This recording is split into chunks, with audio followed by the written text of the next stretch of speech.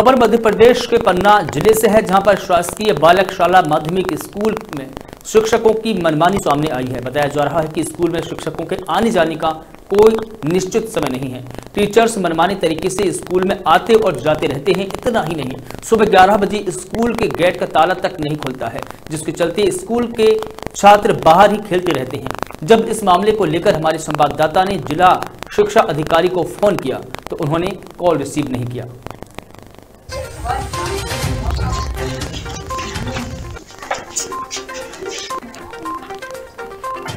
बेटा कौन सी क्लास में पढ़ते हो? सातवीं। स्कूल समय कितने बजे है? साढ़े दस बजे अभी कितना टाइम हुआ? ग्यारह। स्कूल नहीं खोला?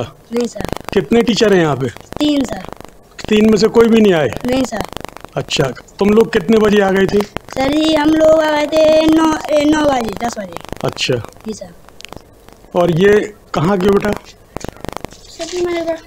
अच्छा कौन सी क्लास में पढ़ते हो? क्या ऐसे ही खुलता है रोज लेट स्कूल सर जी कभी कभी जल्दी निकल जाता है।